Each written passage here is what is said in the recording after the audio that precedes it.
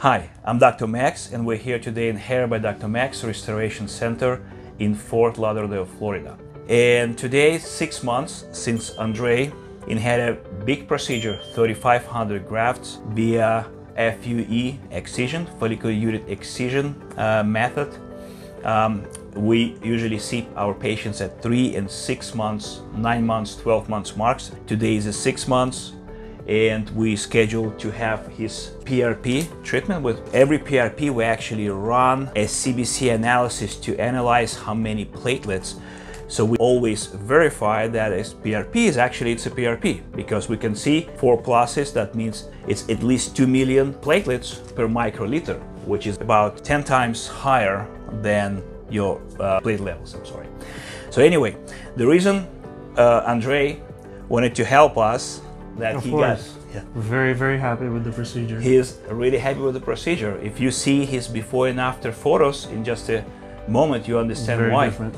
Very different. He looks a completely different person. Uh, when I saw you for the first time around six months ago, the Norwood scale was about five, approaching six, and now we kind of reverse it back in time. It's only took us six months. As I always say, one of the reason is how we do the procedure. I made a decision three or so years ago that I no longer will depend on other people to perform the most important part of the surgery. This is the implantation. The implantation means everything. This is actually when the graft being transplanted into the scalp. The standard of care in the United States is that doctors do incisions and then they have technicians who implant those grafts. Too many uh, risk factors to those grafts to be damaged because you have to squeeze them with little forceps. Sometimes you can damage and squeeze too much, and you have to do it 3,500 times, which is the case. You know, you had 3,500 Yes. grafts, and instead, I do every single implantation with my own 3,500 grafts. I implant from the beginning till the end. So, and they are no pain at all. without without any pain. No pain at all. So, could you tell me, Andre, what having hair loss, what it meant to you personally? Well, uh, self-confidence wasn't that good. So uh, not having the hair there was a little uh, not not a good thing. Looking at a mirror, not seeing my hair there, just falling every time. And right now, I see myself and really different.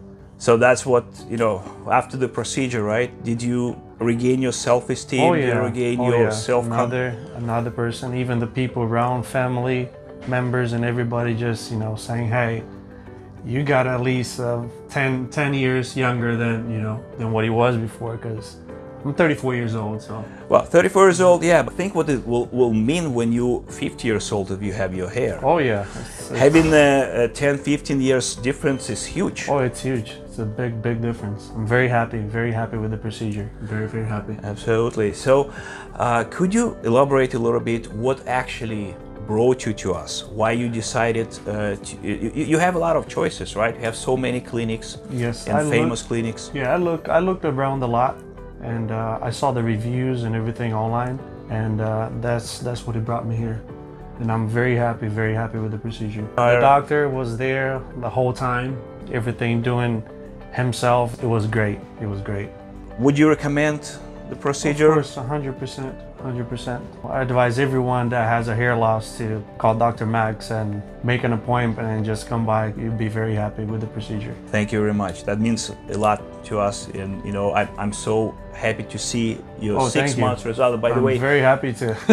by the way, six months it's only the beginning. Six months you only see between 50 to 60 percent of the expected results. So we're gonna see much more hair growth over next uh, six, sometimes even 12 months after the procedure. So. Excellent, excellent. Very right. happy, super happy. But one thing, he was super uh, strict about following instructions. Every, Oh, yeah. every single point.